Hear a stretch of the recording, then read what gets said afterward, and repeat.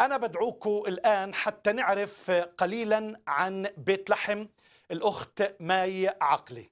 وأنت يا بيت لحم أرض يهوذا لست الصغرى بين رؤساء يهوذا لأن منك يخرج مدبر يرعى شعبي إسرائيل.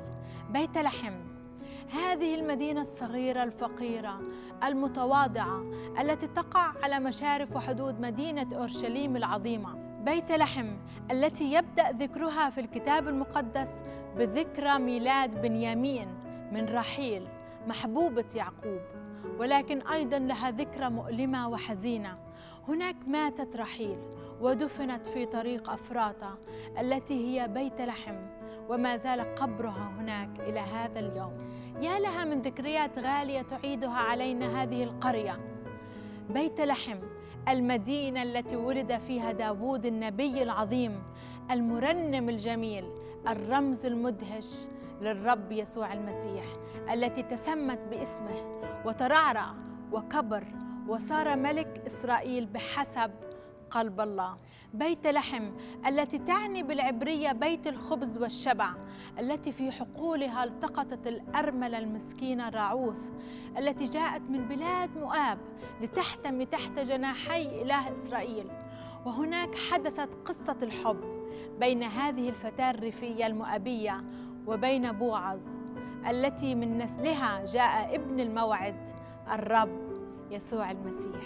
بيت لحم ولد فيها المسيح مخلص العالم الذي عليه رجاء الأمم ورجاء الخليقة كلها. بيت لحم التي في سمائها ترنمت الملائكة بكل ما فيها من مجد وعظمة وأعلنت السماء لرعاة فقراء لا قيمة لهم في المجتمع. لكن في هذه المدينة الملائكة تأتي لكي تعلن ميلاد الرب يسوع المسيح.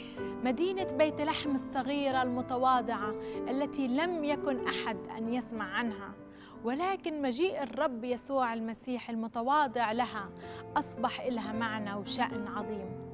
مثل ما يقول الكتاب المقدس الذي إذ كان في صورة الله لم يحسب خلسة أن يكون معادلا لله لكنه أخلى نفسه اخذا صورة عبد صائرا في شبه الناس. وإذ وجد في الهيئة كإنسان وضع نفسه وأطاع حتى الموت موت الصليب. وبهذا الاختيار للمدينة المتواضعة جعلها من أعظم المدن ومن أشهر المدن في الوجود. من منا لا يعرف أو لم يسمع عن مدينة بيت لحم من في هذا الوجود لم يتمنى أن يزور مدينة بيت لحم هذه المدينة الصغيرة المتواضعة لكن بمجيء السيد المسيح فيها صار إلها شأن عظيم.